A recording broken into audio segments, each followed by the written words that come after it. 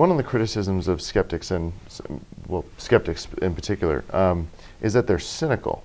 Um, first of all, do you think that's true? And then secondly, um, why do you think such a misconception exists? Because I haven't met uh, a single cynical person here at this entire conference. Yeah. Well, you said that just like we rehearsed. I appreciate that. Um, there are cynics. I don't know many of them. Uh, the sort of skepticism we push is uh, affirmative and positive. It's we think skepticism is the best way of finding things out, right? And uh, and it's exciting. It's sort of a self-correcting mechanism keeps you uh, from being duped by harmful nonsense belief. Uh, there are folks who are s- sort of so ardently skeptical that they what they deny that knowledge is possible. Right? These are the postmodernists or Sure. whatever. Uh, they say science is just one mythic narrative am- among many others. I think that's sort of a cynical view. Um, and there are maybe this is just more personality than philosophical position, but there are curmudgeonly sourpuss skeptics and atheists, you know, who just bah humbug everything. But you've been at TAM the past few days. The folks at the amazing meeting, this is like, uh, you know, it's like a family reunion. Oh, People sure. aren't, you know, just uh, carping on about nonsense belief. People are excited, and there's a community feeling here. And talking about uh, you know people going back to their uh, hometowns and getting to work and advancing critical thinking there. Um, we think that skepticism as a sort of base uh, or, or foundational uh, way of looking at the world is positive and not naysaying. It's Sure. not just saying no to someone else's belief. Uh, it's not just bah, bah humbugging.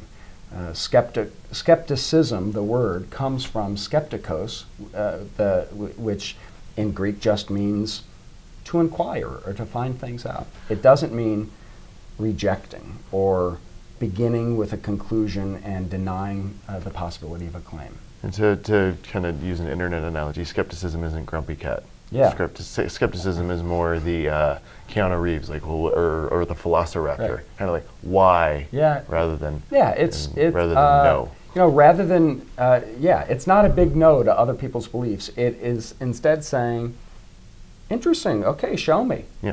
You know, prove it. You think that you can talk to dead people? That would blow my mind if that were true. Sure. So show me the evidence, right? Yeah, or you think you can, you know." Uh, uh, later on tonight, we're testing an Algerian mystic during Ramadan. It's Ramadan right now, who. Uh, can do what's called remote viewing, he claims. Um, we're open minded. My gosh, it'd change the world if he could prove it. So we have three objects sequestered in a room. Um, he's going to go, go on live via Skype tonight during the presentation with a translator. He's had three days to meditate on this. Uh, we're not, you know, when he contacted us to be tested, we have about 15, 18 applicants a month and made his claim that he had the psychic ability. We didn't say, nonsense, there's no such thing. Instead, Sure. we said, bring it on, let's see, right? And we worked out this protocol. Uh, I think the take home message about the kind of skepticism we're talking about is that it is um, open minded, it is inquiring, um, it's, it's sort of, uh, in the spirit of science, it's the sort of uh, stuff Carl Sagan talks about, about the, you know the wonder of finding things out. And you know, if this Algerian psychic shows that he has uh, this ability, um, I think Nobel prizes will be awarded. This Oh, will sure. big news. Now, I mean, million dollars is is is is is, is really uh, in in, a, in, a, in the case of proving a claim like that, uh, small potatoes. exactly, exactly. When when you talk about the implications. Now, uh, don't get me wrong. I'm not so optimistic that the sure. chap has the ability he claims, but I think you get my point. Um, do you think that the skeptic movement is going to continue to grow, and if so, what do you think is the possible um, future of the movement? There are uh, three exciting trends that I, I'm finding. Uh, you know, I've been at this racket for 15 years. I really like the uh, collaboration among national organizations and grassroots groups. So, uh, though you were just talking about, you know, some atheists feeling excluded or or f- imagining that some skeptics are saying you're not allowed to be an atheist or whatever that Sure. was. And I, again, I, I reject that. I don't see that going on. Um, I mean, we're all atheists. But anyway, so I talked about that. Uh, many of us are atheists. Despite your uh, questions and concerns about that, I actually see a lot of collaboration. So we talk about the future. I see a lot of people coming together, getting important work done. Uh, uh, second trend, so collaboration, but also second trend is stuff online, internet activism.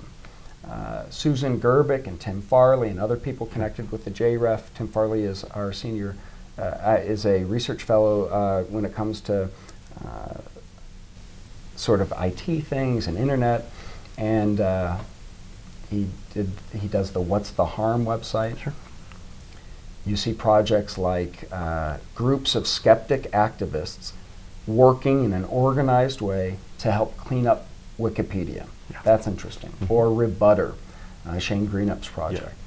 Um, and the, if we're talking about the future of skepticism, the third thing that sort of gets my tail wagging is the talent. The I'd even say new talent. Like there's a lot of great people showing up, rolling up their sleeves, and saying, "I want to get to work. I want to help make the world a better place." By helping people think straight, by helping people not be duped, right? And uh, you know, so five years from now, I think they're going. We, the world has not seen the best rationalist, skeptic, atheist podcasts yet. I think they're coming. The world has not seen um, all that there is to do regarding skepticism internationally, right? New organizations are being formed. There's uh, new projects, new things to support. So um, I'm really excited uh, about the future of skepticism in that way. I definitely share your optimism Yeah. for sure.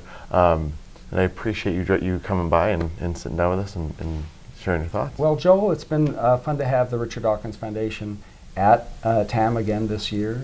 Uh, the organization's been so supportive of this event, and uh, it's been a fun conversation. Thanks so much. Mhm.